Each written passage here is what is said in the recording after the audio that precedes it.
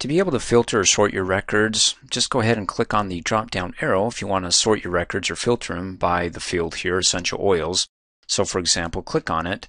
Let's go ahead and uncheck all of them by default and say we just want to see cinnamon and clove. Mmm, Christmas smells. Go ahead and click OK, and it just displays the two. And notice that whatever field I filter by, you get this little funnel. So that way when you look at it, you're like, oh my gosh, this is all we got just look on any one of these drop down arrows and make sure that it doesn't have a funnel because if it does and you want to unfilter it, um, then we'll do that in just a minute, but we can see that it's being filtered by this field. As you recall in an earlier training video, we added the total row and the cell here is not giving us the total, it's giving us, click on the drop down arrow, the average between those two cells that are being displayed and then the total for those two cells for cinnamon and clove and then on order. Now let's go ahead and click off. And if you want to unfilter this, go ahead and click on the filter, well, the drop down arrow next to the filter, and go ahead and check all so we can see all click okie dokie and we're back to where we started. You can do multiple filters. So if I want to do it for category instead, let's go ahead and uncheck all and let's just see antibacterial, anti-cancer, click OK. And then between the two, if I want something that's less than like let's say $30, then I can click on the price and go down to number filters and say less than, opens it up and it says is less than. We'll type in 30 and click okie dokie and it's cinnamon. And you can see that we got double filters here. So it's filtering by category and by price. So if I go ahead and click on the drop down arrow and say that I want to clear the filter from price, then we're back to just filter by category, click on the drop down arrow and clear it from there. Next, if you want to sort them like essential oils, like by this field here, essential oils, all the records, we've got the C's, A, B, C, D, E, F, G. It's already sorted, but if I want to sort it the other way, descendingly, click on the drop-down arrow. There's A to Z. How about if we go Z to A? So it was at the bottom of the alphabet, well, towards the end of it, which is Ylang Ylang. That's at the top, and it's sorting descending back up to the beginning of the alphabet down below with the C's. And you can see up here that you have a little down arrow next to the down triangle, showing you that it's descending. And if you want to go ahead and clear that, click on the drop down arrow go ahead and go to sort by color, do custom sort, and there's the sort right here. And you can change it if you want to go back to ascending. Click okie dokie, and now it has the arrow pointing up. So it leaves the arrow there, and if you don't want to see the arrow, then click on the drop down arrow, go down to sort by color, custom sort, and delete the level and click okie dokie.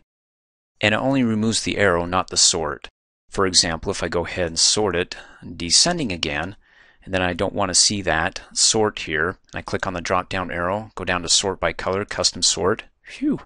And I delete this level and click OK.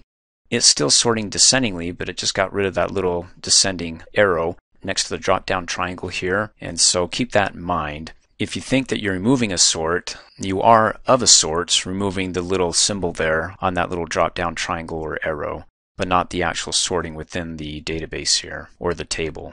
And speaking of which, if you want to do more than one sort, for example, let's sort everything by category, click on the drop down arrow, go down to sort by color to do a custom sort, and click on the drop down arrow and say you want to do it by category A to Z. And after it sorts it by category and it groups them all together, all the calmings, all the antiparasitic, antivirals, let's go ahead and click OK so we can look at it first. Then we can do a consecutive sort or an additional sort that after it has the antiparasitics together, then we can go ahead and sort it by, let's say, the essential oil's name. Now, for the alphabet, C comes before O, so right now, after it finds duplicates, it looks like it's sorting descending.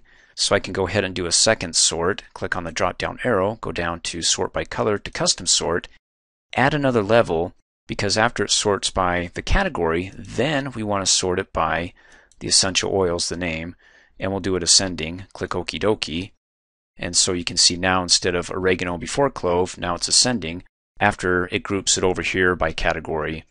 And then it comes over here and says within that group, let's go ahead and sort it by the essential oil's name. And then to go ahead and clear all that, click on the drop down arrow, sort by color, custom sorts, and go ahead and delete your levels. And then delete that level and click okie dokie. It removes the levels, but again, it didn't remove the sorts. So if you want to get back to the way you had it originally, whereas by the name Essential Oils Ascending, then you'll have to click on the drop down arrow and do A to Z. And then if you don't like that little arrow there, then go ahead and click on the drop down arrow to sort by color to custom sort And it says sort by color. It doesn't allow us to choose a color to sort by because we don't have any colors set up. These are banded rows, even though you could say technically they are colors. They're not actually a colored cell, but a banded row, so we can't mess with that. But I digress. Let's go back here and delete the level, click OK so we get rid of that little arrow pointing up for ascending, and we don't have to see that to distract us, if it does distract you. And we're back to where we started. Thanks for watching. Hey, as a quick reminder, if you like my video, please give it a thumbs up. You can also click on me and subscribe to my channel, get notified of the latest videos, and for only $2 a month, you can have access to all my Microsoft Office training videos.